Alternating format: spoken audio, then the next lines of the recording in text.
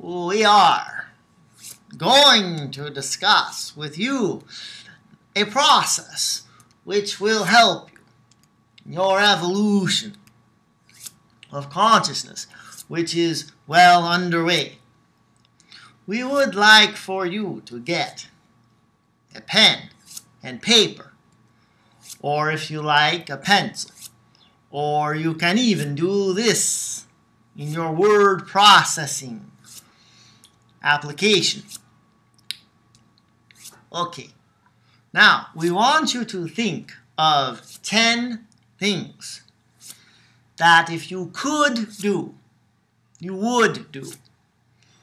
In other words, if you were to take the training wheels off, so to speak, and do whatever you could possibly imagine doing, what would the first 10 things you would do be? Yes. This is not just a simple exercise in stretching your imagination. This is preparation for what you are moving into. You are moving into a time when you will be able to move into whatever experience you wish to have.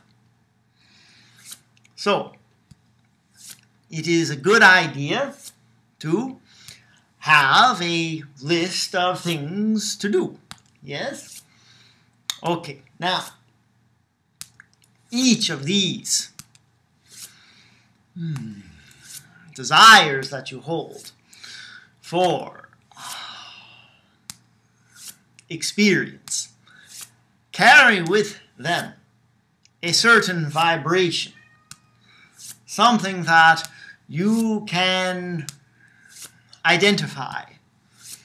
We want you to feel what it is each of these experiences represents for you.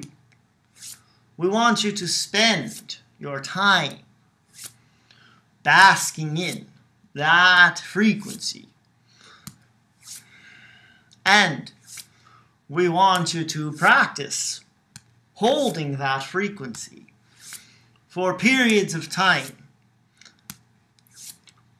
We know that it is easy for you to get distracted by your minds and to think about various things, such as the practicality of what it is you would like to experience and what would happen as a result. But for now, it is enough for you to simply dream of where it is you would like to be and what it is you would like to be doing and who it is you would like to be doing these things with. We want you to imagine all of the sensations that you would feel in your body and certainly in your emotions. Now, once you have your list of 10 things that you would like to do, and you have also played around with feeling for the frequency of each one, we want you to notice whether or not some things that you had on your list gave you more of a feeling of excitement than others, and whether some of the ones that were more exciting were lower down on your list than the first thing. We want you to take notice of how it is each of these experiences would feel for you. And do so without analyzing why, without having to understand why it is this particular experience has more power to it for you than the others. This is a game for you. This is a way for you also of becoming more aware of the variations in frequency. We want you to be able to discern one frequency from another. We want you to feel the differences in the frequency states so that you will be more equipped and more adept at handling these types of situations when you are fully processing fifth dimensional energy all the time.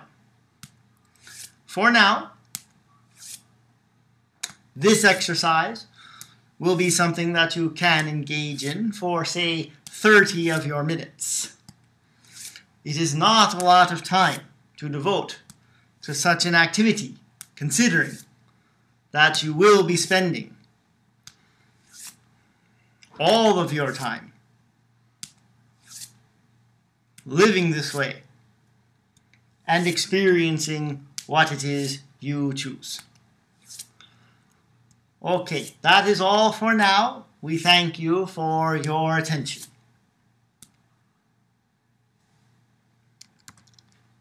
I hope you enjoyed it.